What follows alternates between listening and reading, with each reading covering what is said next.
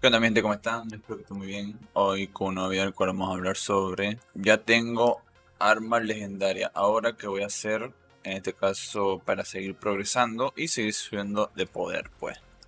Ante todo, me gustaría darle las gracias a todas las personas que se han suscrito al canal, lo cual esto me ayuda a seguir trayendo contenido como este.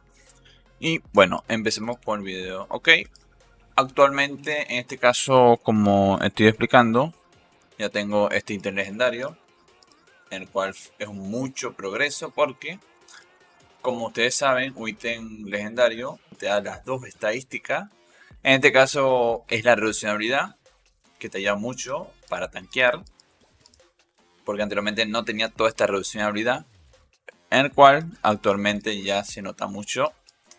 Y me ayuda en el caso de PvP a tanquear más pues. Ok, primeramente, ¿qué es lo que yo al menos recomiendo para ir progresando y seguir subiendo poder. Lo primero que yo recomiendo es, dependiendo de tu altura del juego, y va a ser lo primero y lo que siempre y lo que más debes darle prioridad es. El códice siempre vas a tener muchas estadísticas para subir, pues. Esto yo siempre lo recomiendo. Hice una guía sobre el códice.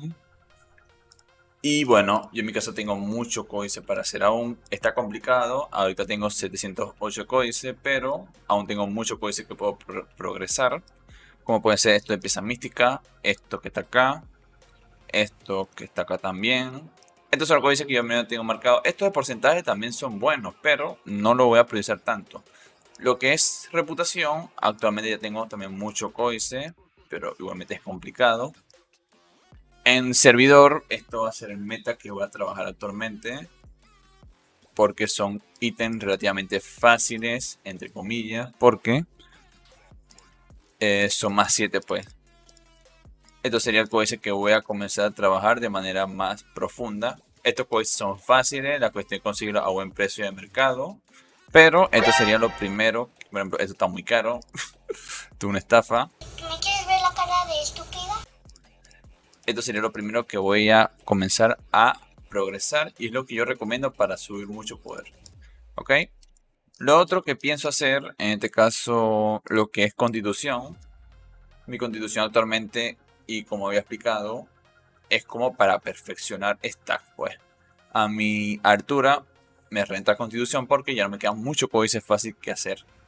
¿Ok? En este caso, mi prioridad va a ser en este caso comenzar a subir lo que es constitución al 13 para mejorar toda estadística. No me va a dar tanta precisión y evasión y daño, pero esto es un cambio en el cual voy a comenzar a progresar lo que es constitución.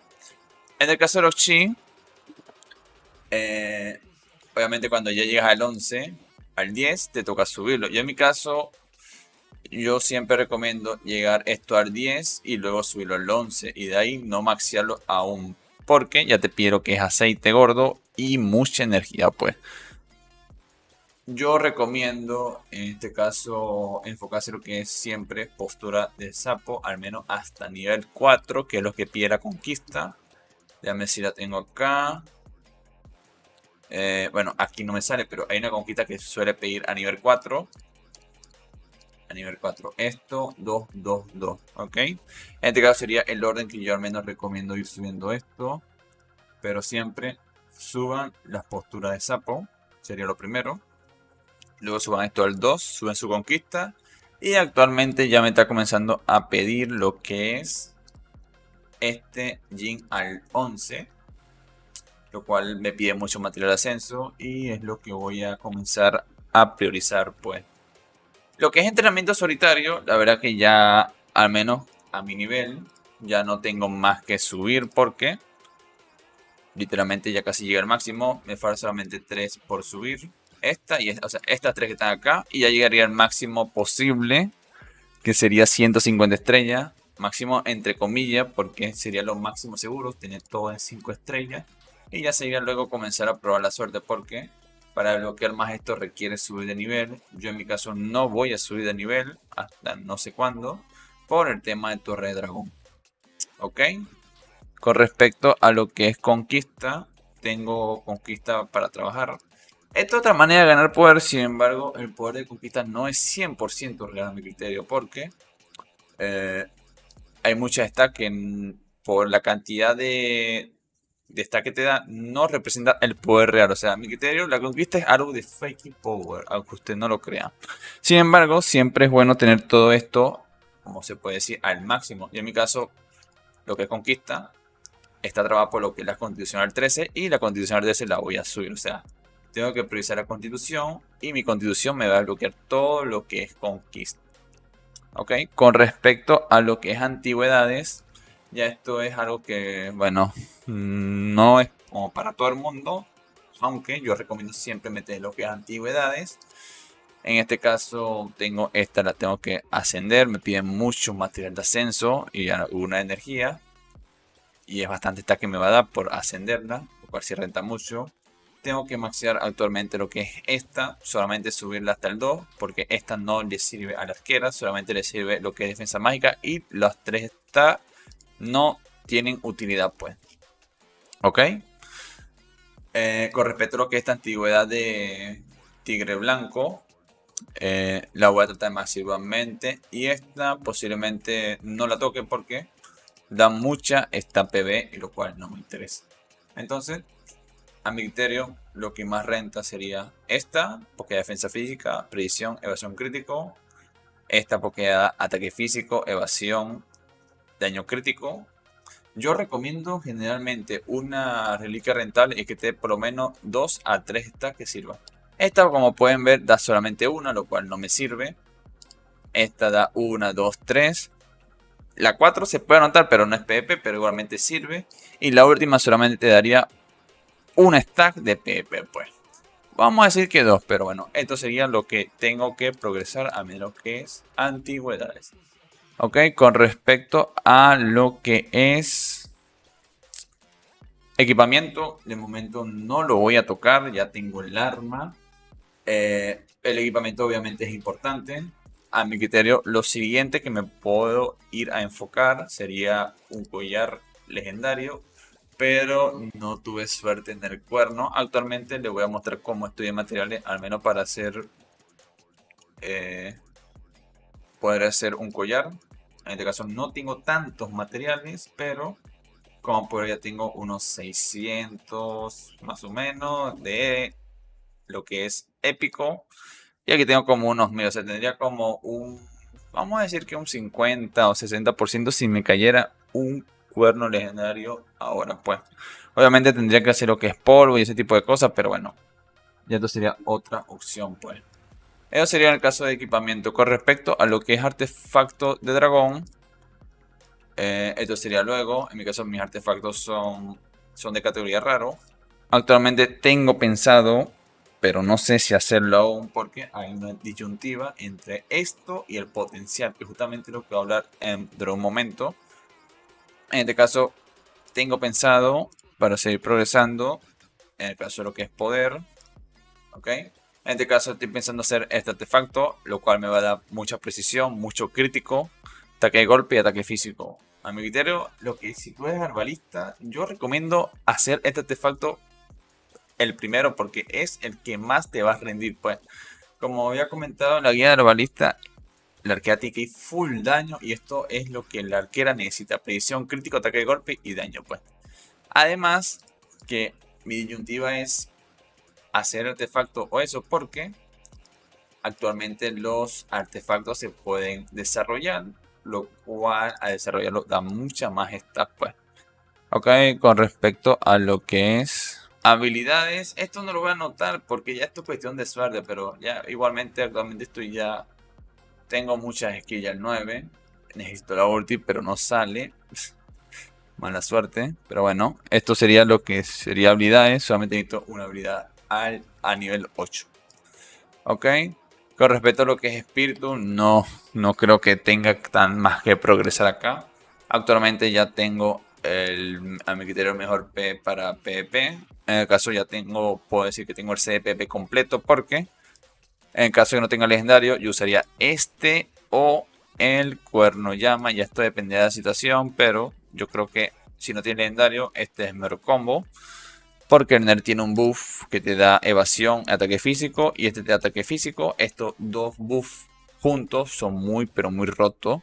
Incluso yo en algunas veces si peleo contra taoísta que no puedo bajarme, suelo sacar el baratán, pero obviamente esto a mucho riesgo. Yo no recomiendo sacar el baratán nunca porque el baratán es very, very importante, o sea, muy importante. Porque te saca el stun y esto te puede sacar mucho pellejo, pues. Pero estoy usando también este C para cuando necesito más daño. ¿Ok? Entonces, eso sería lo que son pegs. Eh, solamente para anotar, me faltaría lo que es este peg, que es bueno para PvP porque da mucha evasión. Y este porque da mucha precisión. Serían los dos P que estoy necesitando actualmente como para mejorar algunos sets. Sin embargo, ya con lo que tengo, puedo decir que ya tengo un set perfecto pues. Estos P que están acá solamente los necesitaría para algunas situaciones específicas. Como puede ser este para armar un set de evasión. Este para armar un set de precisión porque es lo que da más que todo. ¿Ok? Con respecto a lo que es piedra mágica, eh, la verdad que esto ya depende mucho de mi suerte, de la suerte. Mis piedras no son tan buenas porque quiero trabajar lo que es un C. Actualmente mi C crítico sí es bueno. Vamos a mostrarlo acá. Como pueden ver, mi C principal es full crítico. Este caso me da casi 300 de crítico. Daño de golpe. Tiene una reducción de daño crítico de casi 20%. Y bueno, no tiene tanto aumento de daño crítico. Mi C es balanceado pues. Sin embargo, está basado más que todo en crítico. Y un C de predicción como para pelear con gente con mucha evasión o de mucho león para no misiarle. Me da casi 231. Eso sería mi C principal. Y en este caso también tengo un evasión de crítico que no lo uso, pero lo tengo allí pues. En el caso de lo que es piedra sería mejorar más que todo piedra. Esto sería suerte y ya lo que vaya saliendo. Mejorar algunas piedras que más que todo precisión con crítico sería mi meta a buscar acá pues. O sea, piedras como esta que está acá, pero legendarias pues. O sea, sería legendaria o épica pues. También anotar que lo que es espectromita Actualmente mi espectromita es muy, pero muy horrible. No he tenido suerte con el espectromita. Voy a llenar el segundo quemador. ¿Dónde está por acá? Voy a llenar el segundo quemador, al menos que he tenido con esta cuenta. Y no sale espectromita, lo cual es muy, pero muy buena suerte. Voy a tratar de llegar al nuevo mapa. Supuestamente me dijeron que hay algunas que da espectromita. No sé si es verdad, pero bueno. Y esto sería continuo para otro video. Pero cuando llegue acá, quizá otra una espectromita. Si es que no llego primero al quemador. ¿Ok? Con respecto a lo que es pieza mística, no tengo tanto que trabajar acá. Sin embargo, siempre es mejorable. Como pueden observar, esta pieza mística. Esta pieza mística sí es mejorable, pero es buena. Esta es perfecta. Esta es mejorable. Esta es cambiable por una que tenga una esta de PvP, porque en este caso tiene vida, es fake power. Muchos van a decir, no, es que es fake o sea, pero tiene ataque físico, creo que no importa. Esta es mejorable. Esta es buena, pero no se va al sec a menos de ataque físico. Sin embargo, me hizo el set más balanceado. Y esta que es muy buena, de defensa física es defensa mágica. Lo cual está bastante decente. Ok, en este caso mi objetivo actual sería tener todo esto con ataque físico, por lo menos mejorar un poquito, pero lo que es pieza mística, al menos en el set principal, no hay tanto que mejorar, pero como digo, siempre hay algo que mejorar. Pues. Ok, como estaba explicando sobre esto, antes que se me estaba olvidando, mi objetivo actualmente sobre los chi es subir esto el 11 para terminar lo que es conquista, en este caso me lo está pidiendo, y luego enfocarme en lo que es postura del sapo, la cual ya tengo 30% para subir 5. Y eso más que todo sería lo que es chi. Ok, con respecto a lo que es el sistema potencial, justamente la disyuntiva que tengo entre fabricar el artefacto épico, donde está acá, y el sistema de potencial, porque en este caso, así está actualmente mi sistema potencial, me está dando 2087 poder. Como pueden ver, más que todo he podido desarrollar la parte que es casa. Sin embargo, lo que es casa da mucha, está de PvP. Como pueden ver, reducción de todo daño, aumento de daño crítico. Aquí voy a mostrar para que vean lo que me está dando el sistema potencial. Me está dando ataque físico, defensa, algo de predicción, algo de evasión, Miren todo el daño crítico me está dando, reducción de golpe, o sea, es mucha estadística que me está dando el sistema de potencial. Y la verdad que he gastado muy, pero muy poco, pues. A menos que Acero Dragón, pues.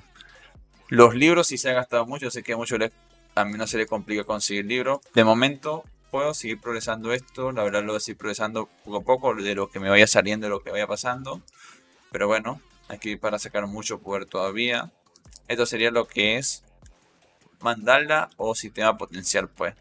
Totalmente está dando 2087 poder. Y aún tengo más que progresar. Y bueno chicos, eso sería todo más que todo. Al menos lo que voy a seguir haciendo para seguir progresando lo que es poder. Sin, obviamente sin estancarme, lo que es poder. Y bueno, esto al menos le puede seguir a todo. Porque a menos los consejos que di siempre es válido para todos los levels. Espero que le haya gustado este video. Cualquier duda no duden en comentar. Hago directo en Twitch y tiene descripción. Esperemos seguir progresando. A ver si algún día, quizás algún día, algún collar legendario, nunca se sabe. Quizás dentro de, no sé, varios meses o bueno, primero vamos a ver qué pasa. Dependiendo de lo que vaya sucediendo. Bueno, espero que les guste este video. Cualquier duda no duden en comentar. Hago directo en Twitch, tiene descripción y nos vemos pronto. Bye bye.